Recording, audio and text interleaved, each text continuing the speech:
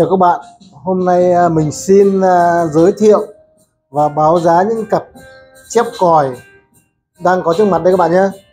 Trước mặt đây là các bạn đây là 6 bộ 6 cặp chép còi của các hãng Onkyo và Pioneer, Sony và Koran các bạn nhé.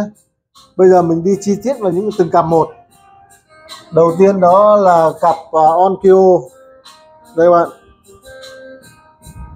không à, uh, TV kép có model là TV kép 608D nhé cặp này uh, từ Enico bọc từ là rất là dần dày và rất là nặng các bạn nhé họng họng gang.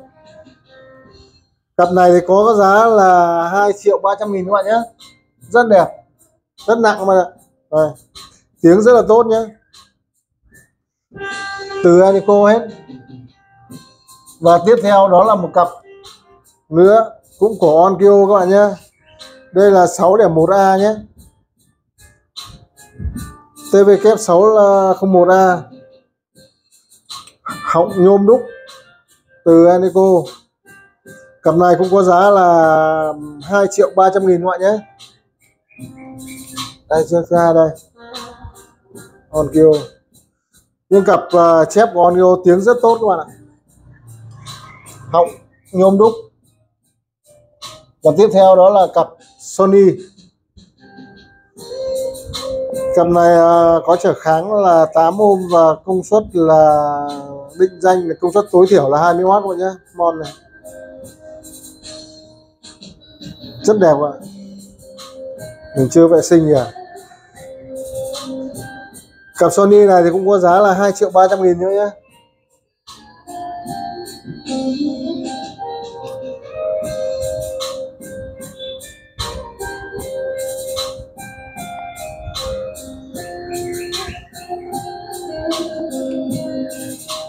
và tiếp theo đến là cặp Quran đây các bạn. 8 ôm bạn nhé. Cặp này rất là mới. Tiếng rất là tốt. Cặp này thì à, cũng có giá là 2 triệu 300 nghìn các bạn nhé. Đây là những cặp à, uh, Quran cổ. Chép còi rất hay tất cả đều là kim loại hết các bạn nhé.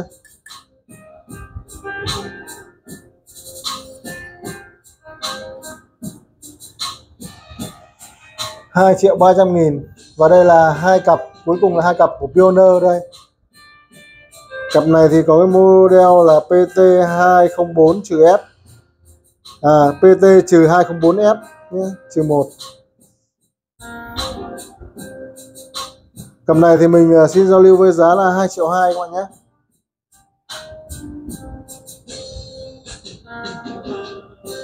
Tuner PT trừ 204F trừ 1 Khóc nhôm đúc rất là dày, Tiếng rất tốt. Hai cặp này thì à, nó giống nhau nhưng mà nó khác model. Một cặp là 204F và cặp này là 202B các bạn nhé hai cặp này đồng giá là 2 triệu 200 nghìn. Đây, chiếc còn lại đây. Họng tên lửa nhé PT202B Twitter 10 ohm. 8 ohm 10W bạn nào có nhu cầu xin hãy liên hệ mình nhé. Hải Hà, Audio, số điện thoại và Zalo là 0967 165 168 mình ở Biên Hòa, Đồng Nai. Và mình à, ship toàn quốc nhé bạn nào có nhu cầu gì thì cứ hãy ờ, nhắn tin vào Zalo cho mình hoặc gọi điện Zalo cho mình. Video mình ờ, xin kết thúc ở đây. Xin thân ái, chào các bạn.